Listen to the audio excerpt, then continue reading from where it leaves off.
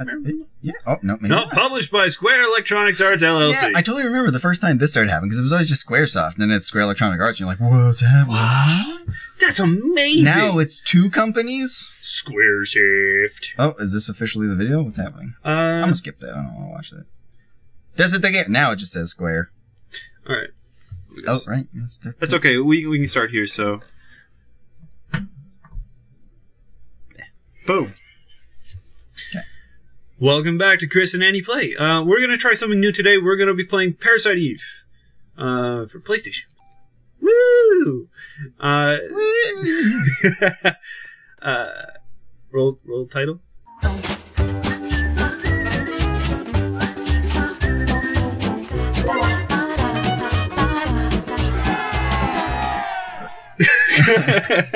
Da, da, da, da. I, I don't know our theme music. La da da da da.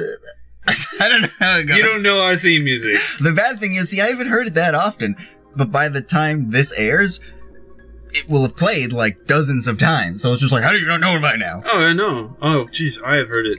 Where does this game Far take? Where does this game take place? New York City. Is that? Oh, Uh, Christmas time in 1998. All right. Oh, okay. So Yes. I should have asked you before we started recording. Okay. Um, how about instead of actually reading all the dialogue in game, you replace it with uh, that guy's that guy's version? Uh, do I remember what you're talking about? Oh, naked man puts put black bars on those gold yeah. nipples. Oh, okay. Yeah, let's do that. I don't care if it's a statue; it's indecent. Put some clothing on it. Uh, maybe that's what I'll do. Maybe I'll just get like a, a- a shirt and just put it on. That'll just be a shirt superimposed. Yeah, you good. Uh, all right, guys. So, uh, if you're a little bit younger and you're viewing this, or maybe you're older, uh, Parasite Eve is uh, what they called a cinematic RPG or action game. It's basically it came out at the same kind of time as like Resident Evil. Um, so it has that kind of Resident Evil survival horror feel, but it really isn't survival horror. It's a it's an RPG that's just played really weird. It's a lot of fun. Oh, So- totally. Yeah.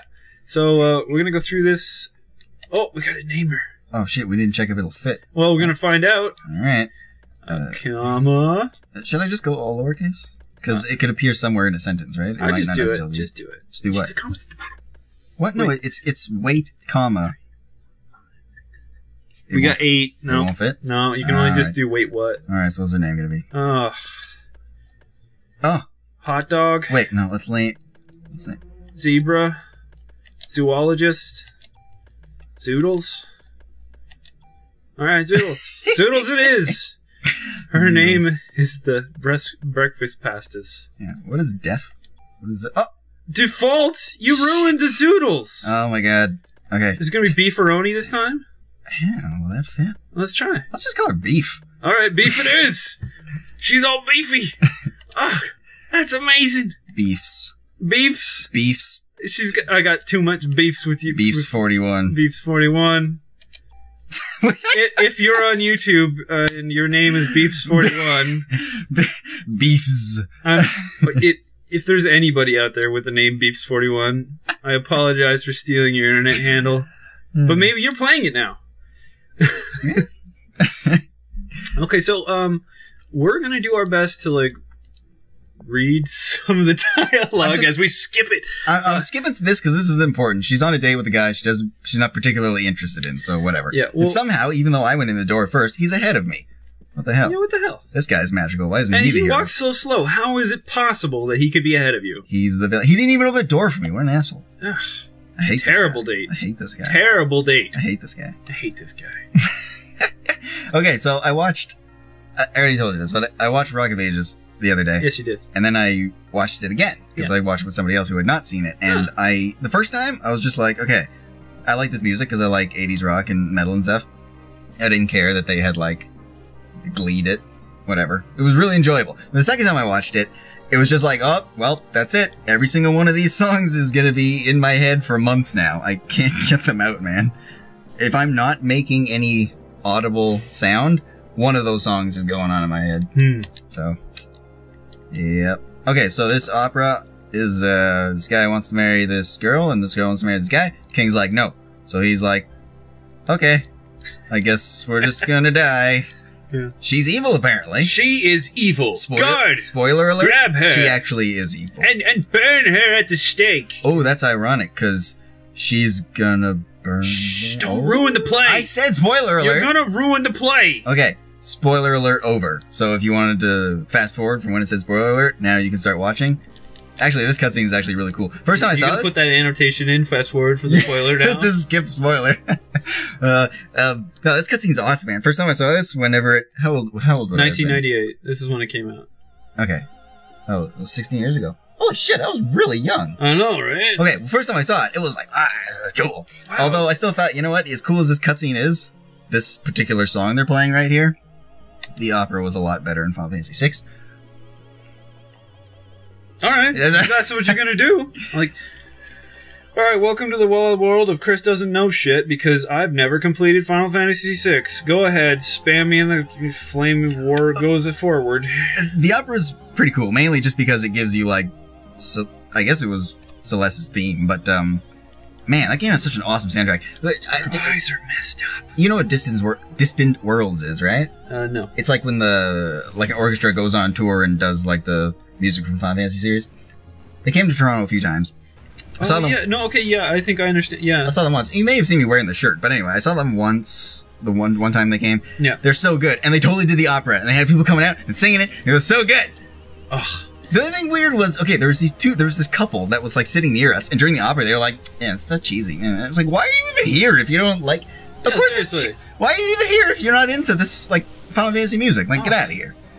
Yeah, there was a. Oh yeah, we're totally talking about this cool cutscene. Look at this guy. He's yeah, falling. it's burning. Luckily, he fell in slow motion, so she was able to dodge it. Oh well, you know that's that's her powers. You know, uh, yeah, maybe that is. Maybe that was the first indication that she's has uh, powers. Yeah, that's probably true. She neoed it. How did you do that? You move like they did. Curse at Eve. Also the Matrix. Uh, Well, that makes a lot of sense in this game. this was the Matrix. The whole game makes sense. So from now on, just think about this as the Matrix. Yeah, see, And she if- kicked his if ass. You don't know what the Matrix is. I'm sorry. Well, you know, you know what? The Matrix came out the same year as this. really, Didn't it come out in '98? I don't know. I'm pretty certain. Dude, I don't want to go ruffling through my stuff to find out. I'm certain it is. we'll check it at some point. It's we, right there. We'll check But. I'm gonna make so much noise if I go there. We should get it later. Ugh. Google. Funny thing is, you can't like ever since the Matrix. Now, I can't hear the word Neo without immediately thinking of Matrix. Like I'm currently playing Yeah. one of the Atelier games, Atelier Ayesha. They pronounce it Aisha, even though it's clearly spelled Ayesha. Anyway, um, eh, what is it? Her sister is named Nio, and she says that name a lot, but it's like N I O. And every time I hear it, I'm, with bullets. You're gonna beat her with a club. I'm gonna first. I'm gonna okay. You know, what? I'm gonna bullet. No, I'm gonna clever. I'm gonna clever. it. Oh, did you just get hit by that? No, We'll find out. no, no. I Well, didn't. it's like right in your face. How do I? No, cancel that. Um. Uh, what the hell is talking about? Right. So every time she says Neo, Yep. I'm just like, what Neo? What? What's, how's it? The chosen one's here? Oh shit. Okay, don't walk into her or you bounce. you bounce. Just like real life. yeah. I you walk into somebody, you're gonna bounce back a little bit. oh totally. I um, when I was coming here, I was trying to get on the bus and Yeah. like I bumped into a little guy and Did uh, you really? Yeah, he was a little guy. I don't know why I said little guy, but I bumped what into kind him of little person are we talking and about? I just kind of flew back like five feet and a little three appeared above Is my this head. like a, a fully Bullshit. grown adult? That was a little person? Was it a child? It was. uh, I don't think we need to get into details. Basically, they're smaller than either a little person. Well, I guess you're a fairly large individual, so. I mean, I- not like. You're not like wide, you're just tall. I am ever so slightly above average, I mean- suppose. Actually, no, I'm probably like, what is average height for like North Americans, like white North Americans? I don't know, four feet? No, it's like five It, eight, isn't, isn't it three foot two? five eight, five nine. Uh, Five I think five five ten or something is pretty average. Okay, I mean, you're definitely taller than that. yeah, I'm six. I'm like oh, exactly six. Yeah. Okay, so what happened here is this actress who's named Melissa, for some reason that we don't know yet, has science powers. There's no magic in this game. It's science. Like her cells, Science. her cells get her cell. Yes. What's your Oh, problem? He is on the freezer. Her cells give her special powers, and then uh, now Beefs forty one has special power. Beefs Beefs. has special powers as well, and uh, Yep. Beefs already had superpowers because she was able to conceal a gun, a club, and a bulletproof vest under this dress. That's some pretty superpowers. That is impressive. The gun alone is, is impressive, I suppose. Oh, damn it. Look what I did. Look what I did, wasting all this You time. ruined it all. Restart this whole episode. It's a bust. All right. I hate everything. Uh, fast forward. Look at this. We're already at Yeah, 10 we're minutes. there. We're not even gameplay yet. oh, Oh, there's a box. I want that box. Oh, you can't get the box. I'm so excited. Where's no, the I can. box? I can. I can get You it. can get the box. Where's the box? You can tell because like everything is Oh, pre-rendered is a except the box. box. Yeah. It's over in the right. I think- Forget it. I think no. I think you can go talk to the backup as well, and maybe they give you guns or something. I Or you have the option know. of standing here forever. Stand here for six. Oh yeah, that's totally worth. Uh, oh, medicine. oh, she's Stand here for six hours and then be like, "This game's way longer. Six hours." GamePro lied to me. Stupid game You know, okay. My brother used to buy Game Pro. I always bought Game Players, Uh, which uh, I didn't like either of them. Well, honestly, neither of them were all that good. But Game Pro was just like, here's the here's the straight dope. Here's the I don't know if they talk like that, but here are the facts on how to play the game and like the secrets. And Game Players was kind of like that, but they had like it was weird. Like all their uh review guys and and all that stuff, they were like it feels like they could have been writing for like cracked.com like nowadays. Uh they were like they were all really funny. Yeah, I don't know. Like, I always felt like uh, GamePro didn't really have real information in it. Huh? No, like they had like a whole bunch of tidbits of like it was like teaser trailers. Like, whereas, like, uh I guess what did what did I really follow? I guess at this era in, in my life, I was paying attention to like official PlayStation magazine. Yeah. Uh, but it wasn't very good either. The only reason I I liked it was that it had the a science at work. science. Yep. Science rules. See, that cell was the bad cell and made the other cells Oh, bad too. no. That's how science works. Oh no, the poor Mousy! No, Mousy, what happened? Science gives you bad No science, Mousy!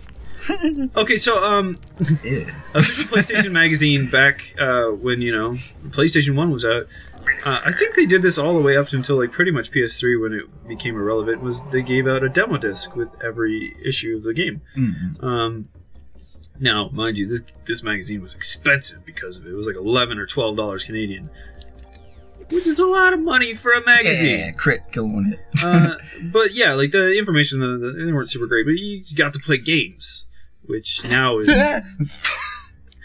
cats. Um, so yeah, that that uh, that's why I, I did that. But I always felt like Nintendo Power had the best information. yeah, Nintendo Power is always pretty good. Um, uh, I, I did get one awesome thing from Game Players though, man. Occasionally they gave out demo discs as well, but Mhm. like a PC demo disc, and oh, that clown boy. Why Uh, aren't you burning? he burns later. Okay. Uh, right, that that demo disc that I had, that PC demo disc, man, like it had games on it. Where like that was the first time I played. Sweet, Uh, striking a pose. that was the first time I ever played uh, Duke Nukem 3D. So Huh? then I, I went out to buy it after. Actually, no, it didn't even have a demo disc. It had a. Oh, you know what? It had a video. It was like a trailer for I think Duke 64, which is just the 64 version of Duke Nukem 3D. But uh, so that was awesome. It was the it was the Shaft theme, but instead of the that was replaced with bullet sounds, and then they were singing about Duke. It was funny. Totally made me want to play the game. And uh, it had a demo for Age of Empires. First time I ever played an RTS, so I, I had fond memories of that demo disc. Yeah, that's cool. Yeah. No, I, I really enjoyed uh, official PlayStation Magazine Oh, because shit, going the wrong way. uh, I got to play a lot of interesting games that way. And uh, like nowadays, it's so easy to like get a game demo, but back then, like if you wanted to play a game that wasn't released or you hadn't played before, like the only options were to rent it. That was it. Um, so it really gave like a lot of options, and like they'd usually give like a full stage you could play. Um, and uh, eventually, um, I started playing like a lot of Dreamcast uh, at the same kind of era because it was out there, and like most PlayStation One titles came out on Dreamcast, but looked so much better. Um, so I ended up uh, playing a lot of stuff on there, and uh, there was a Dreamcast magazine. I can't remember exactly what it was, but it also came with demo discs. But the important thing about the Dreamcast one was the demo discs were the only way to get the updated web browser that had Flash in it, so that you could actually watch the internet properly, which was pretty cool. Watch the internet. well, back in the day, uh, but like at the time, like this, this is way before iPhone and stuff, but like this is when like Flash was starting to take off, and pretty much everything on the internet used like Flash, but uh, the, the original browser just didn't handle it, and uh, you know, trying to wow. Old timey stuff. Going on the internet on a Dreamcast on a 56k modem, watching Flash videos that didn't run properly. Oh, dude, I still remember like 56k modem playing like uh, Diablo, Diablo One online, Battle.net, and um, every time someone picked up the phone, getting disconnected and stuff. But uh, I um, back then we had like there was I, I don't know if like unlimited. Yeah, I'm sure unlimited internet plans existed and stuff. But I think we had 120 uh, episodes over. So I'll continue this story later. Okay. Too bad. Wait. See you later, guys. Don't die, man. Yeah, I know. I haven't saved yet. Oh, that'll be brutal. Don't do that. Nah, die. I don't know. So you get to die. Yeah, okay. No, check out these skills. Look. Yeah. Mad Beef's 41 skills Beast 41, you don't put Beast 41 in a combo. In a corner. in a combo. Don't put it in a combo either. Like, hey man, uh, I'd like to order your Beef's 41 combo. like, that doesn't come in a combo. It's a la carte only. you, you can you can pay for the Beef's 41, you can pay for the so- soft drink, and you can pay for the fries, but you can't have them together as a combination price.